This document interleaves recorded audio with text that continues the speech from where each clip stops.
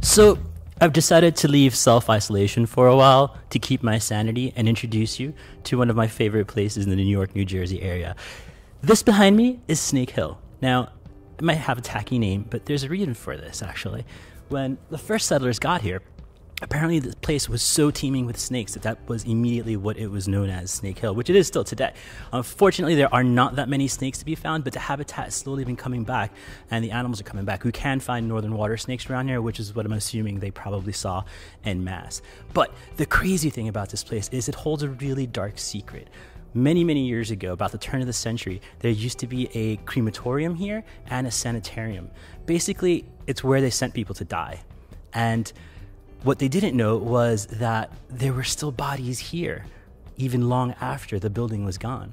So apparently, a few years ago, the New Jersey Turnpike decided that they wanted to do an expansion, and that meant that they had to um, encroach a little bit upon the uh, the rock area here.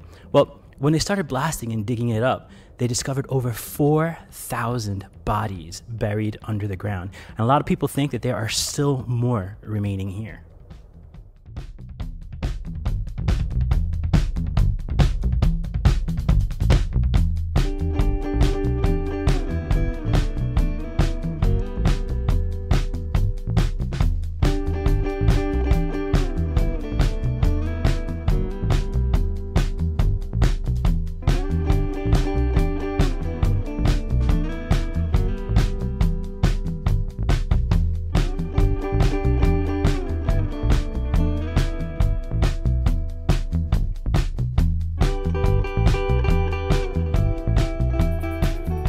Weird rocky outcrop is unlike anything else geologically speaking for hundreds of miles around.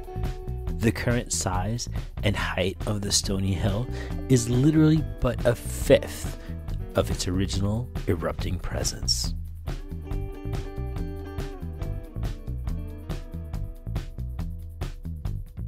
The rock had yielded untold geological treasure and today still remains largely unexplored despite its obvious presence on the landscape on the way to New York City.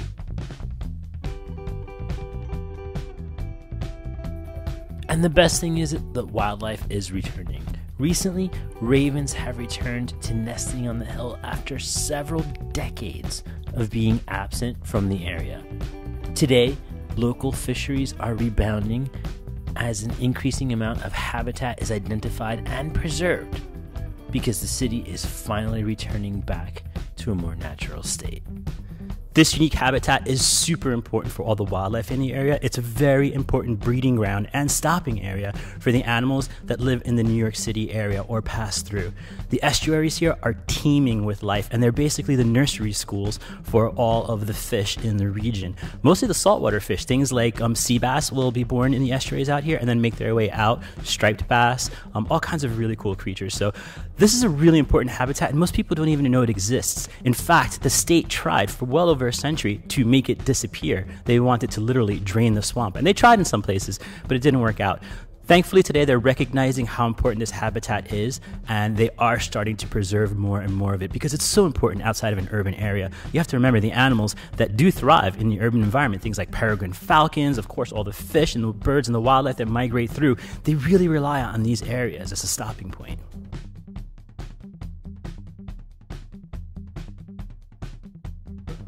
So the next time you're driving into New York City from the New Jersey side, take note of the giant protruding rocks on the side of the road, and you've now been more familiarized with Snake Hill. See you later. I'm going back to fucking quarantine. Ugh. Thank you.